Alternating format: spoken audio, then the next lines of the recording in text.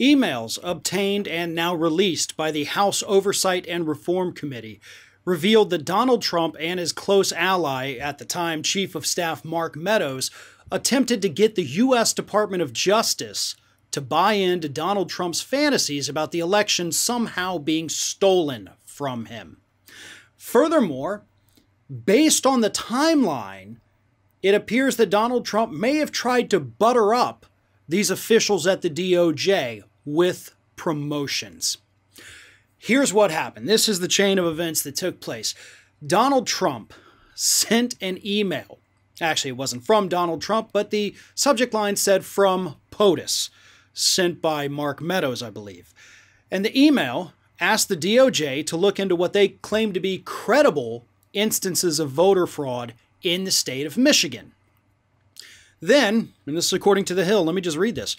Approximately 40 minutes before Trump tweeted that Barr would be stepping down, and then Deputy Attorney General Jeffrey Rosen and then Principal Associate Deputy Attorney General Richard Donoghue would be promoted. His White House assistant sent Rosen an email with the subject from POTUS, which contained materials alleging voter fraud in Antrim County, Michigan. The email also included talking points that claimed, quote, a cover up is happening regarding the voting machines in Michigan, and, quote, Michigan cannot certify for Biden. So, 40 minutes before he announced that, hey, these guys are getting promotions, he sent those two individuals this email, or his White House sent the email, saying, hey, we need you to do this for us. It continues. Uh, Trump then sent uh, uh, the same documents to Donoghue. According to the committee, the documents also revealed that Trump used official White House channels and a private attorney to urge the DOJ to file a lawsuit in the Supreme Court that asked the court to declare that the Electoral College vote in six states Trump lost cannot be counted and a and request a special election to vote for president. So he literally asked the DOJ to intervene with help of the Supreme Court of which three of those nine justices, 33% of the justices on there, were put there by Donald Trump himself, asking them to quite literally overturn the election and hold a new one. It doesn't get any more clearer than that, folks. The former president of the United States tried to use his authority, tried to bully the DOJ essentially, into overturning the 2020 presidential election. This cannot stand. And I know we've only known this information for what, maybe 24 hours at this point, depending on when you're watching this. Um, we have to have a full fledged investigation on this.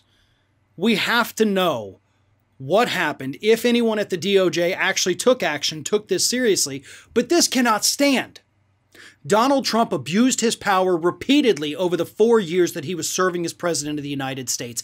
And at some point, there has to be some kind of accountability for what he did. Otherwise, none of this matters. If there are not investigations that result in charges against this man for gross abuses of power, then none of this matters. None of these stories matter. And that's why this gets so frustrating sometimes. Because obviously, in this line of work, in the progressive media, we have spent five years talking about the atrocities of the Trump administration, among many other things as well. But there's been no accountability. Yeah, the dude got impeached twice. He also got acquitted twice, in spite of all the evidence showing that this man did what he had been accused of doing.